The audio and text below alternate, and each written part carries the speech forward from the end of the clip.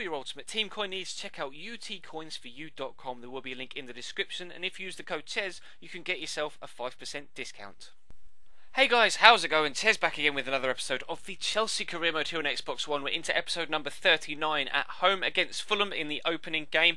Now, although we've uh, we've been doing quite well recently, there is a topic of, uh, of particular interest that I would like to talk about in this uh, in this particular episode. And of course, recently you have uh, we've made the jump from world class to legendary. As you can see, we're currently sat two points behind Arsenal. Still doing quite well. We're still picking up points despite the jump up in difficulty, but the uh, the the gist of the topic today is basically how I feel the game goes about increasing the difficulty from world class to legendary and how it does it in a completely unfair way and an unrealistic way. Now, if you follow me on Twitter, you will uh, have seen me uh, or my raw reactions to what was going on whilst playing uh, both this episode and yesterday's episode, trying to get the footage, etc., playing on legendary.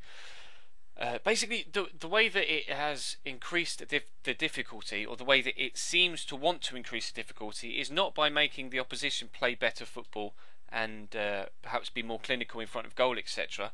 The way it tries to make it more difficult is in a more unrealistic way. It will enforce, or it will make a lot more unforced errors on your uh, on your CPU players, on pl- the players that I'm controlling. My team can feel completely different to the side I was playing with on world class, and nothing has changed other than the fact that we've upped the difficulty level. I'm not using different starting 11s. I'm not playing in a different style. I'm still using the same in-game tactics, but first touches have gone to shit.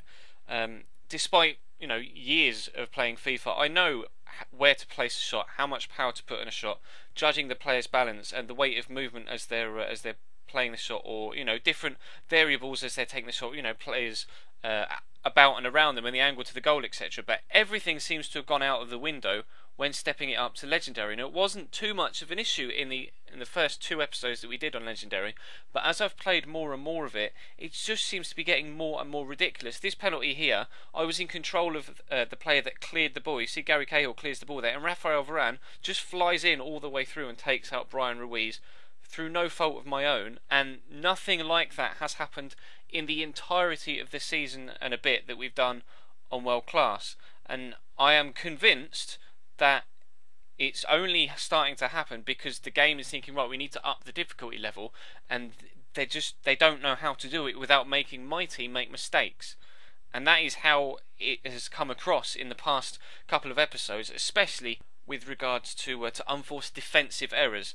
Uh, you'll have seen in that Fulham game, I went to play the ball straight forward to David Luiz from uh, from a goal kick, who was unmarked, had nobody near him, and for some reason Courtois tried to shoot the ball out way, way wide to Ashley Cole, who was stood over by the touchline and was marked, and they subsequently scored their first goal from that. That was not my doing. That was the game passing the ball out to uh, to Ashley Cole when I didn't ask it to. Now you may think that I'm being a bit over the top with this, but having trying to play it because I, I played all of last season on Legendary. I did the first season at Sunderland on FIFA 13 on World Class, and we did the second and third seasons at Sunderland on Legendary, and we did all of the Borussia Dortmund career mode on Legendary, and had no problems with it whatsoever. I played, you know, before I did YouTube, I played every single career mode I've ever done on Legendary, and had no problems with that sort of issue.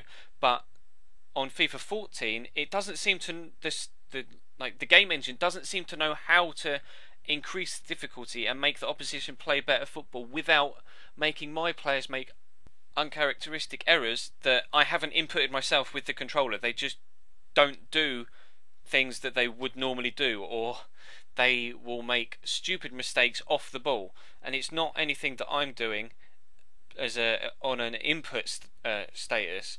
It's, it's hard. It's really, really hard to try and put into words the way that I felt. Basically, I feel it feels like the game is purposefully making my team worse to try and give the impression of a higher difficulty, and it just it's felt so unbelievably unrealistic uh, that I I'm just going to drop the, the, the game back down to world class. Now I know of in before we even jumped to legendary, half of you were uh, pro and half of you were anti going up to legendary.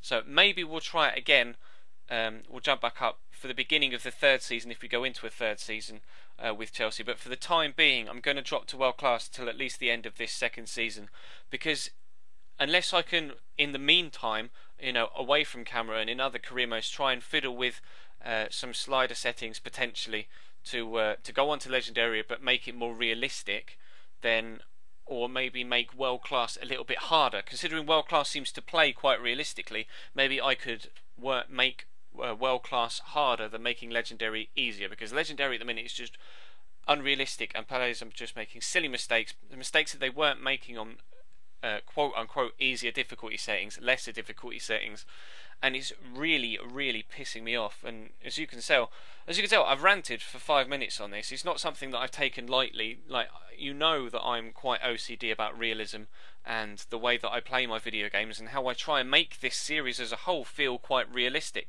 The way that I do the commentaries and I relate to the players as if they were, um, you know, genuine human beings playing a genuine game of football as opposed to pixels on a on a screen on a video game.